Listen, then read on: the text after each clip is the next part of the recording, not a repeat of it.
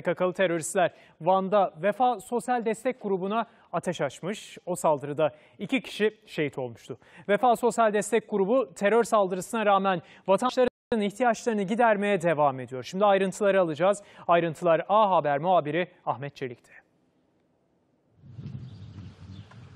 Hain terör sal- saldırısı nedeniyle Vefa e, Sosyal Destek Grubu'nda bir şehidimiz vardı. Bir de sivil vatandaşımız şehit olmuştu ama onlar o teröristlere rağmen yardımlarına devam ediyor. Gördüğünüz gibi araçlar mahallelerde ihtiyaç sahiplerine ihtiyaçlarını ulaştırmak için çalışmalarına devam ediyor. İşte gönüllülerden oluşan ekibimiz de burada hazır. Onlar daha önce belirlenen bir eve yardım yapacaklar.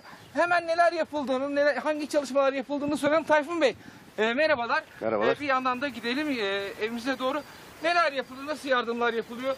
Kimlerden oluşuyor Vefa grubu?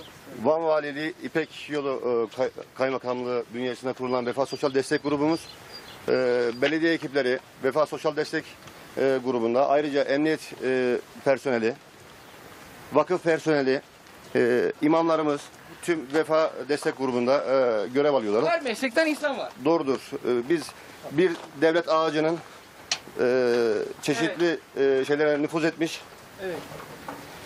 Şu anda da Devlet ağacının her yere nüfuz etmiş farklı zamanlarıyız bu anlamda. E, çünkü tüm birimlerden e, personelimiz mevcut. Bu anlamda Evet. Şu anda da bir ailemize geldik. yardıma muhtaç olan vatandaşlarımıza e, kaymakamlık bünyesinde kurulan e, kriz merkezimizi telefonla arayarak bilgi veriyorlar. E, biz de bunlara gerekli temel ihtiyaçlarını karşılamak üzere e, Vefa Sosyal Destek Grubu olarak gereğini yapıyoruz. Biz vatandaşımızın her zaman yanındayız. Evet. Onlara yardımcı olmak için devletimiz her zaman vatandaşımızın yanında. Devlete zeval vermesin. Evet.